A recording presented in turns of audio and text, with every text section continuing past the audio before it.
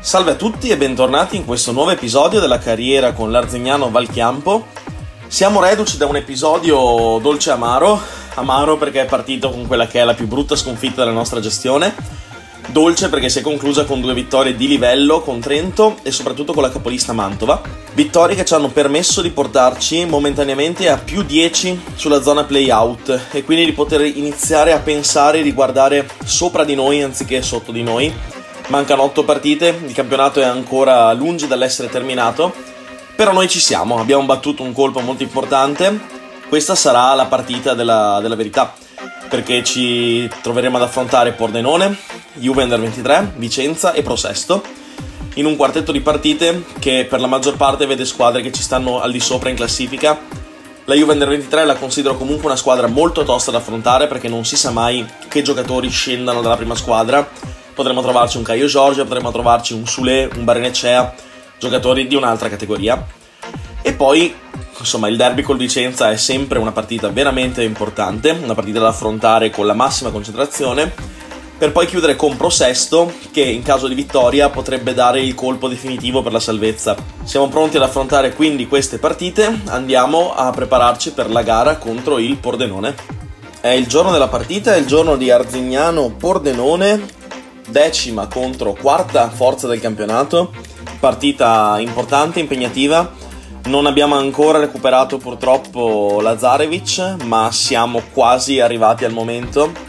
Probabilmente riusciremo forse a fargli giocare qualche minuto entro la fine di questo episodio e andiamo a prepararci ad affrontare questa gara veramente impegnativa. La gira Zammarini sul limite verso Burskagin Dentro per Illing, anticipato da Molnar. Nannini ancora di testa, ma la palla rimane dentro per Edera. Sfiora il palo. Zammarini allo scarico per Aieti. Aieti al lancio. Bombagi. Anticipato di testa, no. Bombagi riesce a scaricarla su Edera, che adesso è solo. Edera deve girarla sulla sinistra per Benedetti. Benedetti dentro Illing, anticipato, ancora Deli, fermato da Alfredson, ancora palla per il Pordenone, Benedetti, Saio, calcio d'angolo, Fantacci, punizione larga, la mette in mezzo verso Alfredson, anticipato, attenzione, la palla rimane lì sulla linea, poi in qualche modo spazzata dalla difesa del Pordenone, ancora buona per Fantacci, anticipato da Burrai. Benedetti si allarga da solo, può solo scaricarla. Arriva fino in fondo, lo fa adesso su Deli. Deli ancora Benedetti, ci sono tre giocatori del Pordenone in area, la palla è per Edera, anticipato Bombagi c'è il vantaggio del Pordenone con Bombagi, un rimpallo dentro l'area piccola, alla fine ha la vinta il giocatore del Pordenone. Si fa rubare palla da Benedetti, ancora Deli, Burrai, riparte subito il Pordenone per cercare l'immediato raddoppio. Hilling, Hilling brucia la difesa, è da solo, può metterla in mezzo, Edera il gol. 2-0 Pordenone nel giro di un minuto, direttamente dal calcio di inizio dell'Arzignano. Aieti al lancio su Palombi, Va a vuoto Milillo, la palla è per Bombagi che va a fare il 3-0, Candellone, Candellone tu per tu con Saio il tiro e c'è il 3-0 del Pordenone, chiude la partita definitivamente la squadra friulana. Si chiude qui la gara, l'Arzignano perde 3-0 in casa contro il Pordenone, squadra che ha retto molto bene fino a tre quarti della partita, poi negli ultimi 25-30 minuti è completamente crollata sotto i colpi di una squadra nettamente superiore dal punto di vista tecnico. Non si può rimproverare niente alla squadra che ha giocato bene per quello che ha potuto. Eh, il Pordenone ha fatto il suo e nel momento in cui poi ha segnato ci siamo sciolti. Perdiamo bordo, grossa perdita per l'Arzignano, perdiamo bordo per il prossimo mese. Si è fatto male a un piede all'allenamento, quindi non è un infortunio muscolare, è un altro infortunio sfortunato e speriamo di riuscire a recuperare prima della fine della stagione. Diventa un periodo complicato adesso. Siamo pronti ad affrontare quindi la gara in trasferta contro la Juve nel 23. Partita da dentro o fuori per la Juve nel 23 che contro l'Arzignano ha una delle ultime chiamate per poter accedere alla corsa per i playoff mentre l'Arzignano tenta con questa partita di portarsi a 44 punti scavalcando momentaneamente Lecco e Provercelli e cercando quindi di mettere una pietra sull'accesso ai playoff per questa stagione e allontanarsi definitivamente dalla lotta salvezza. Sule verso Yattaren. Yattaren aggira i difensori, la scarica Biklien. Lancio verso Caio Giorge, anticipato da Asci, però la palla ancora per la Juventus 23. Filtrante verso Caio Giorge, il tiro se l'è divorata Caio Giorgio. Calcio di punizione per la Juve Under 23. Va Sule col mancino, potrebbe andare direttamente in porta. Sfiora la traversa. Sekulov scarica Antenda. Dentro per Sekulov, si contende il pallone con Gemignani, Gemignani scivola, allora Sekulov è libero di entrare in area. Caio Giorgio, il colpo di testa sfiora il palo. Crespi al rinvio. Lungo dove però non c'è nessuno. Uscita spericolata di Saio che stoppa di petto e imposta su Asci. Gira su Tremolada. Tremolada prova l'imbucata per Fantacci che è tutto libero a destra. Lo stop, il tiro 1-0 Arzignano. Gran gol di Tommaso Fantacci. Stop e tiro impeccabili. Che fa la sponda su Sekulov, sempre libero su quella fascia. Sekulov affrontato adesso da Sci. Il cross in mezzo verso Sule, anticipato da Nannini. La palla però è ancora di Riccio, che riprova a metterla in mezzo. Caio Giorgio di testa. Sfiora la traversa, rimessa dal fondo. Si è fatto male Tremolada esce per infortunio, non sappiamo cosa si è fatto, però il fortunio è abbastanza grave e quindi anticipatamente ma pronto per farlo torna in campo Dejan Lazarevic dopo molti mesi di infortunio. Sule, bellissimo lancio per Iocolano, dentro per Turco tutto solo. Pareggio della Juve Under 23 con Nicolò Turco, prima rete stagionale per il giovane attaccante. Si conclude la partita, finisce 1-1 tra Juve Under 23 e Arzignano Gara abbastanza equilibrata, peccato per il pareggio finale della Juve con Turco, però il pareggio tutto sommato ci stava. La prestazione è stata ottima da parte di entrambe le squadre, probabilmente abbiamo attaccato meno di quanto avremmo potuto, non bene l'ingresso di Pio Vaccari da subentrato per Grandolfo. Inizia anche per noi il mercato degli svincolati, il primo ad essere ufficializzato sarà Riccardo Daga, portiere del Messina, con un passato tra Viterbese e alla primavera del Cagliari.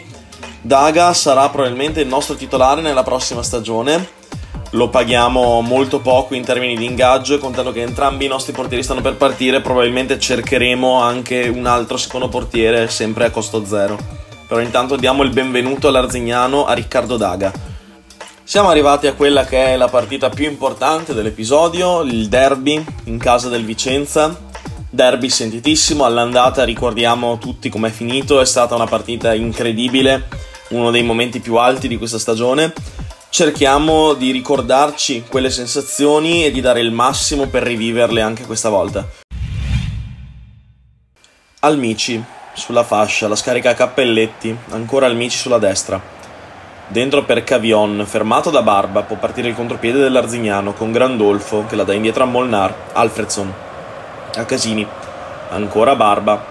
Barba potrebbe provare l'imbucato, lo fa adesso verso Fantacci. Fantacci, lo stop, il tiro.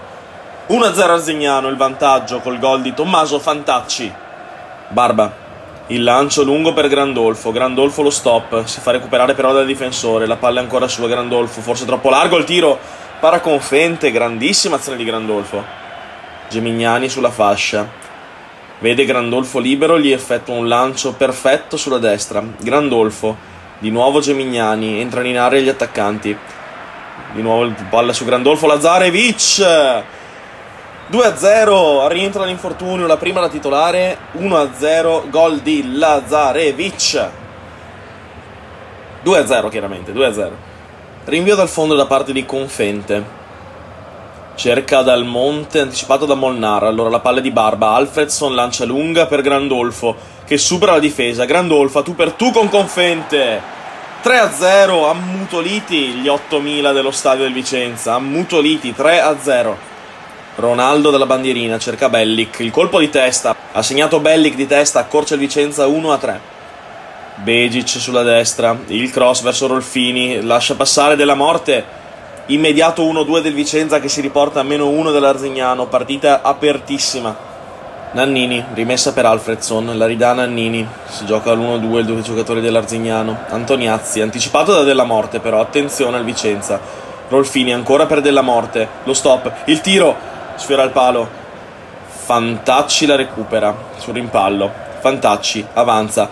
Il lancio per Grandolfo, forse in fuorigioco Grandolfo, la bandierina per ora non si alza un po' largo, supera il difensore, Grandolfo, lo stop, il tiro, gol, 4-2 Arzignano, 4-2, era tutta buona la posizione, Grandolfo. Nannini si ferma alla bandierina. la dà a Cester appena entrato, Lazarevic, stop e passaggio in mezzo, il tiro, parata di Confente, calcio d'angolo. Triplice fischio dell'arbitro, andiamo ad espugnare anche il Menti, 4 a 2 vince l'Arzignano, doppietta di Grandolfo, Fantacci, il ritorno al gol di Lazarevic dopo l'infortunio, ci fa molta paura il Vicenza con l'1-2 in giro di 5 minuti, Bellic della morte, ma poi Grandolfo chiude la partita, festa quest'oggi ad Arzignano, grande festa e vittoria che ci permette di consolidare anche il decimo posto in zona playoff a più 3 dal Lecco a più 7 dalla Juve Under 23. Bisogna cercare solo di ricacciare indietro il Lecco nelle prossime 5 partite per poterci confermare nei playoff. Ed è confermato l'addio a fine stagione di Shimon Fida, per il, firma per il Zaglebie, squadra polacca di prima divisione, quindi rientro in patria per Fida, che adesso andiamo a salutare ufficiale la sua cessione. Fida che numericamente sarà sostituito in rosa dall'arrivo a parametro zero di Nicolò Buso dal Lecco. Buso attaccante 23enne, giocatore di chiara qualità, potrebbe probabilmente fare il vice Grandolfo e giocarsi il posto da titolare. Giocatore con un passato nel Giorgione, Cesena, è passato da Roma dove non ha lasciato il segno, mai neanche un'esperienza da titolare riparte da Sestri Levante qualche anno fa, dove dalla Serie D riesce a conquistarsi a suon di gol la Serie C e da due anni a Lecco adesso viene per cercare di migliorare il suo score e di portare in alto la bandiera dell'Arzignano. E oltre a Buso andiamo a confermare anche l'acquisto del secondo portiere per la prossima stagione, si tratta di Francesco Marone, Marone con un passato all'Avellino, Salernitana, gioca nell'ultima stagione alla San Benedettese in Serie D ha 24 anni, non è ancora vecchio, quindi potrebbe ancora migliorare. Giocatore su cui tenere gli occhi. Potrebbe giocarsi il posto da titolare l'anno prossimo, per ora parte come dodicesimo uomo, però siamo coperti finalmente tra i pali. Siamo adesso arrivati a quello che è l'ultimo match di questo episodio, Arzignano Prosesto. Prosesto che si trova sotto di noi è sulla carta la partita più facile di questo episodio l'esperienza ci ha insegnato che la partita più facile dell'episodio di solito significa clamorosa sconfitta. Quindi cerchiamo di dare un taglio a questo andamento, di continuare sulle ali dell'entusiasmo dopo la vittoria del derby e di cercare di portarci stabilmente in zona playoff, scavalcando magari la Provercelli. Gemignani il calcio di punizione a cercare Grandolfo è troppo lungo. Ci arriva prima il difensore che anticipa anche il portiere. Attenzione, grave incompressione, però se la divora Grandolfo. Se l'è divorata. Gira a destra per Lunghi. Prova a riattaccare l'Arzignano sulla fascia. Lunghi si ferma, la dà a Casini. Casini su Alfredson. Il lancio di Alfredson è a cercare Grandolfo. E mette in mezzo! Il gol di Francesco Grandolfo, assist di Gemignani, 1-0 vantaggio arzignano. Saio al rinvio a cercare Parigi che stoppa la palla, supera il difensore, Parigi col portiere, tentativo di esterno, facile per Del Frate. È finita la partita, l'Arzignano soffre ma vince 1-0 in casa sotto questo inedito freddo e neve di marzo. Ci portiamo a casa la partita col gol del solito Grandolfo 1-0 e a 4 partite dal termine a più 13 sulla zona playout l'Arzignano è ufficialmente salvo. L'Arzignano ufficialmente salvo arriva quindi a quello che era l'obiettivo stagionale. Dopo la salvezza quindi l'obiettivo stagionale per queste ultime 4 partite è e rimane quella di cercare di entrare a far parte delle squadre dei playoff di Serie C. Ci mancano 4 partite, in questo momento siamo a più 6 dal Lecco che però ha una partita in meno e cercheremo in queste ultime quattro partite che saranno contro Novara, Verona, Pergolettese e Triestina di portare a casa abbastanza punti per poterci confermare come sorpresa di questo campionato. Io vi do appuntamento al prossimo episodio, vi saluto e vi auguro una buona giornata o una buona serata.